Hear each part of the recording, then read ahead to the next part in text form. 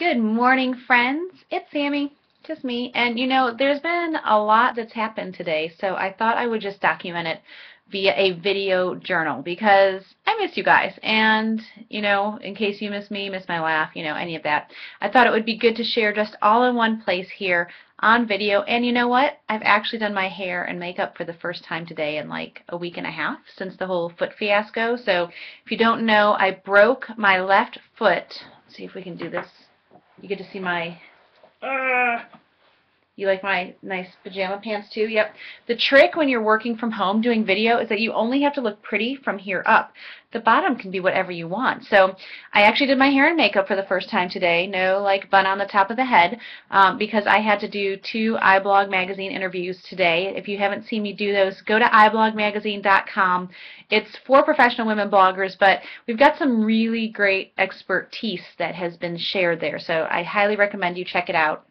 So yes, hair and makeup done. I have also come to the upstairs of my home for the first time in about two weeks, which was a journey on these guys, let me tell you.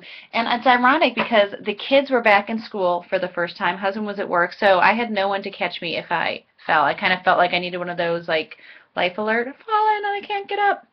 I made it. I don't know how it's going to go going back down, but that's big. Also found out that um, you may have seen via Instagram that Karis had had blood work and an ultrasound done because her throat was, they'd found a nodule.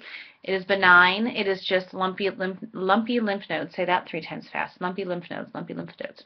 So that's really great news as well. And I mean, booyah, that's a lot to have all in one day. So just thought I would share. Thank you all for your prayers, your well wishes, for those of you that don't pray, your just support and encouragement on social media. I really appreciate it.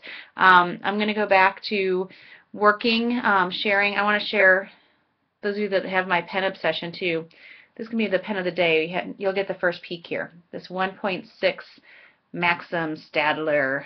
This is a thick guy, but nice dark ink. Yes.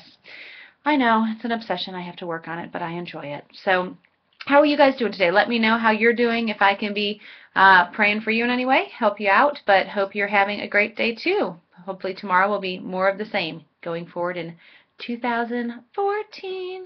Whoop, whoop. Get used to writing that soon. Okay, I'm out. See ya.